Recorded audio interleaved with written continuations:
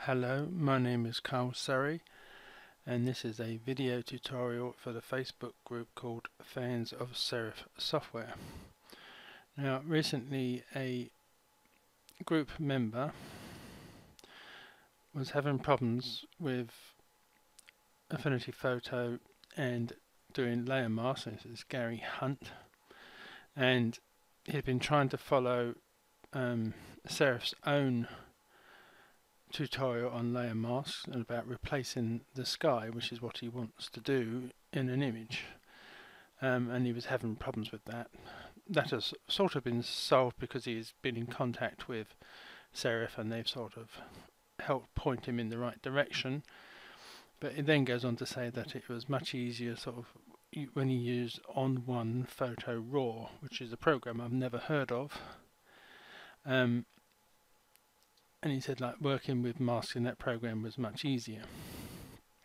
Um, so I, I quickly looked up for a YouTube video for On1 Photo Raw um, with sky replacement and I found this one here um, and I've watched it and to be perfectly honest I think this looks to be more complicated than using layer masks in Affinity Photo. And but you know this this is the program that uh, Gary is used to. You know he knows where things are and how things operate. I've never used programs so I really can't comment too much on how difficult it is. But I thought well as in most computer programs Affinity Photo is much like any other one in that there is more than one way to do something. So yes, you could use like the layer masks like in Serif's video, or you can do a workaround where you don't use a layer mask at all. You really just need the selection tool. So I'm going to use this pagoda image, which I've been using recently in another tutorial, which I got from pixabay.com, which is a free, royalty-free website. So I'm going to come to the flood select tool and I'm going to click on the new mode with a tolerance that's quite low, about 8% and I'm going to click somewhere in the sky and it will select a large area.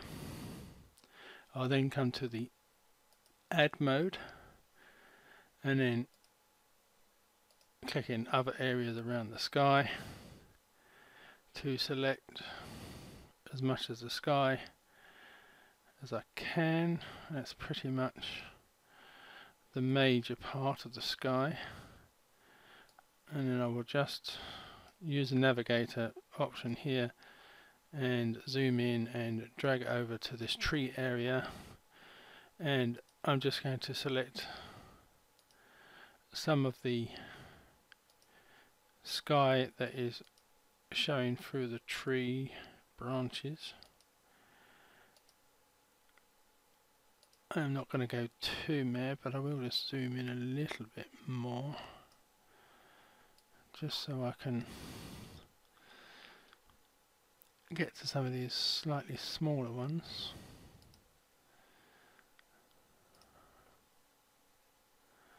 Um,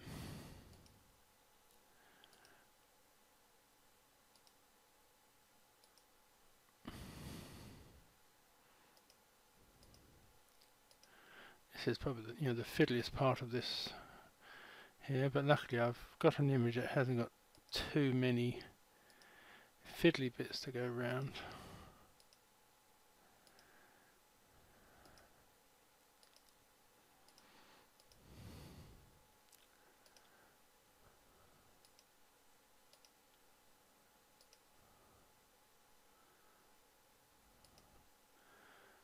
Right,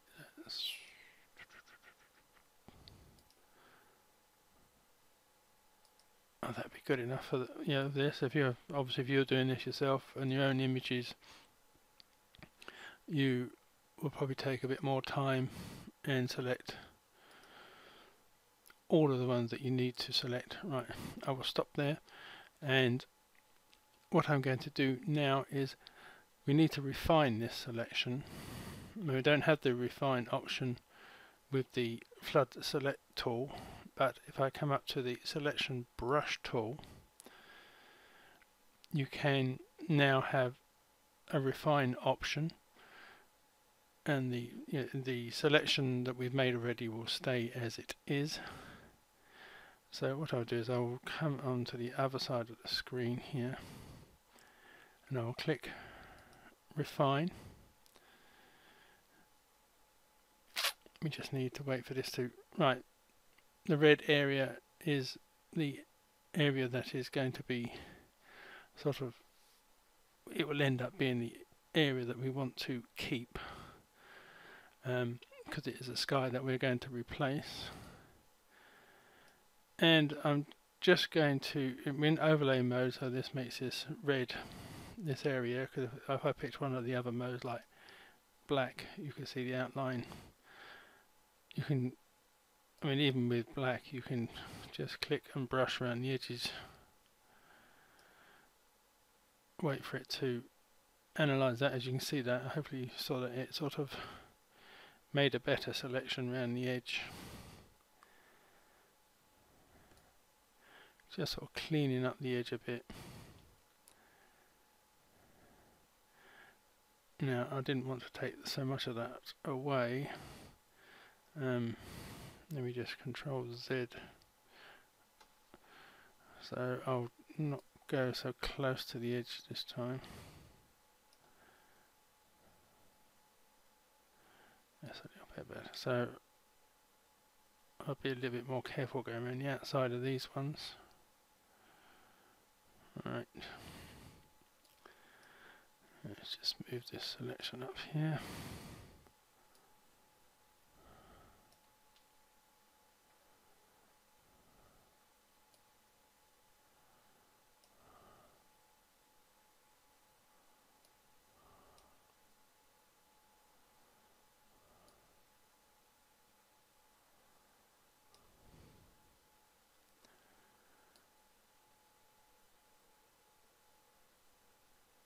you can do this in either you know, in the black matte mode or in the overlay mode, whichever one works best for you.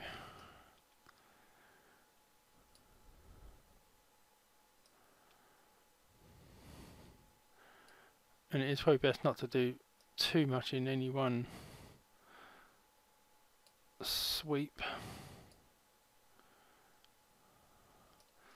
because it's given the program much more work to do and it's where it may make a slight mistakes so I'll go back press control and Z just to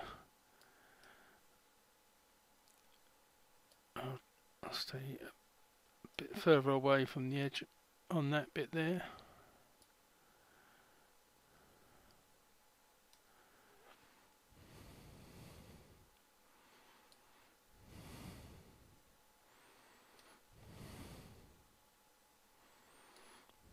nearly there. Sorry for the how long this is taking. I was going to try and make this a very quick video.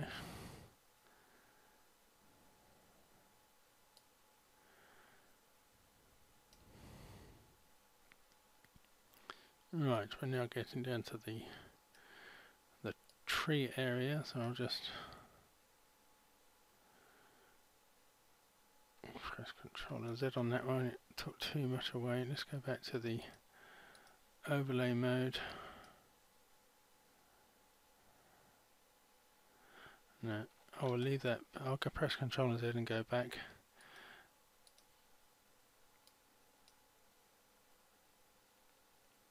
It's just a case of keeping an eye on what you've selected and make sure it doesn't take too much away from the selection edges. Right, so let's come down into the tree area. And then I'll just click on some of these areas here to help define some of the the holes that I selected previously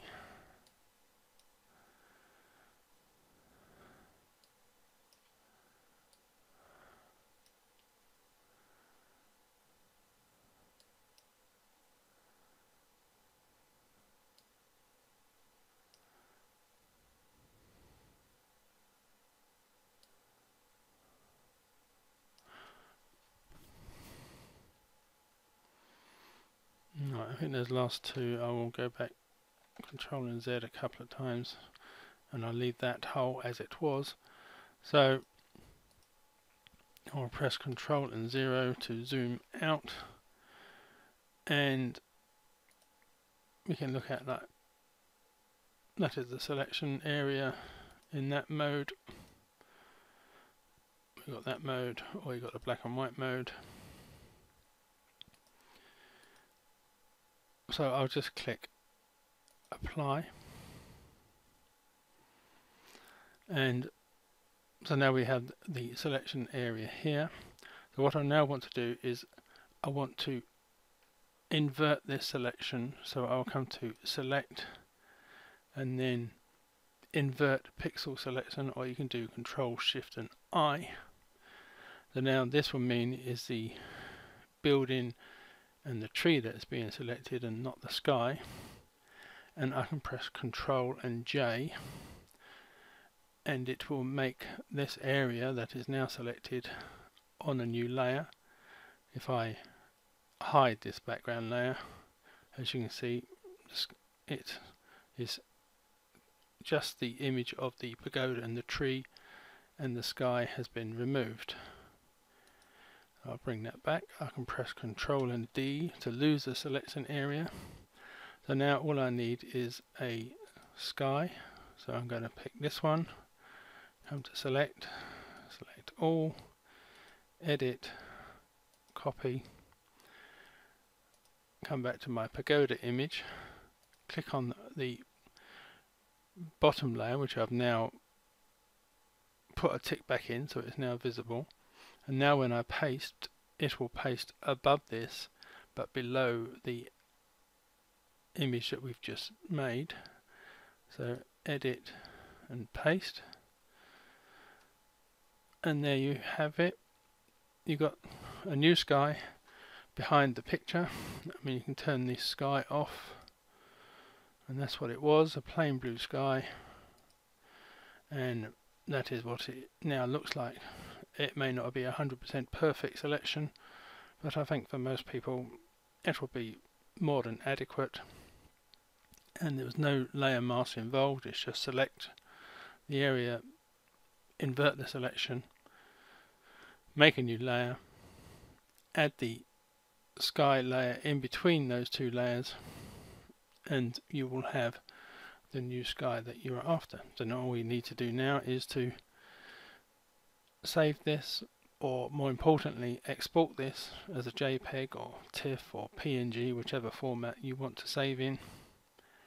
And that is the end of the tutorial. So thank you for watching. I hope this helped Gary and goodbye